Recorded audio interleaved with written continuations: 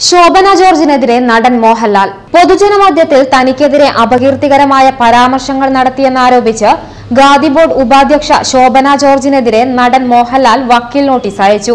തനിക്കെതിരെ നടത്തിയ പരാമർശങ്ങൾ പിൻവലിച്ച് ശോഭന ജോർജ് മാപ്പ് പറയണമെന്നും മുൻനിര പത്രങ്ങളിലും ചാനലുകളിലും മാപ്പ് അപേക്ഷ നൽകാൻ തയ്യാറായില്ലെങ്കിൽ അൻപത് കോടി രൂപ നഷ്ടപരിഹാരം ആവശ്യപ്പെട്ട് കോടതി നടപടികളിലേക്ക് കടക്കുമെന്നും നോട്ടീസിൽ മുന്നറിയിപ്പ് നൽകുന്നു.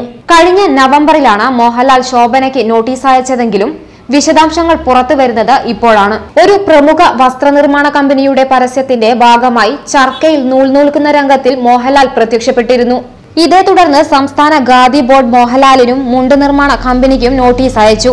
ദേശീയതയുടെ അടയാളങ്ങളിലൊന്നായ ചർക്കയെ ഖാദിയുമായോ ചർക്കയുമായോ യാതൊരു ബന്ധവുമില്ലാത്ത ഉൽപ്പന്നങ്ങളുടെ പരസ്യത്തിൽ ഉപയോഗിക്കുന്നത് തെറ്റായ നടപടിയാണെന്ന് ചൂണ്ടിക്കാട്ടിയാണ് ഖാദി ബോർഡ് നോട്ടീസ് അയച്ചത്. ഇക്കാര്യമെന്ന് സംസ്ഥാന ഖാദി ഗ്രാമ വ്യവസായ ബോർഡ് ഉപാധ്യക്ഷ ശോഭന ജോർജ് പൊതുവേദിയിൽ പരസ്യമായി പറയുകയും ചെയ്തു. പിന്നീടത് മാധ്യമങ്ങളിലും വാർത്തയായി.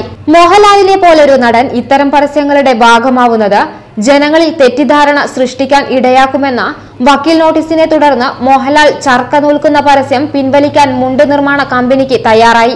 എന്നാൽ ശോഭനയുടെ പരാമർശങ്ങൾ തനിക്ക് ഇത് വ്യക്തിപരമായി വലിയ അപമാനമായെന്ന വികാരമാണ് മോഹൻലാലിനുള്ളത്. ഇതാണ് നിയമ നടപടികളിലേക്ക് കടക്കാൻ അദ്ദേഹത്തെ പ്രേരിപ്പിച്ചത്. വില കുറഞ്ഞ പ്രശസ്തിക്ക് വേണ്ടിക്ക് പ്രശസ്തമായ ഒരു സ്ഥാപനത്തെയും തന്നെയും അപകീർത്തിപ്പെടുത്തിയ ശോഭന ജോർജ് പരസ്യമായി മാപ്പ് പറയണമെന്നാണ് മോഹൻലാലിന്റെ ആവശ്യം. തനിക്കെതിരെ വക്കീൽ നോട്ടീസ് അയച്ചെന്ന് ശോഭന ജോർജ് പൊതുവേദിയിൽ പറഞ്ഞിരുന്നു.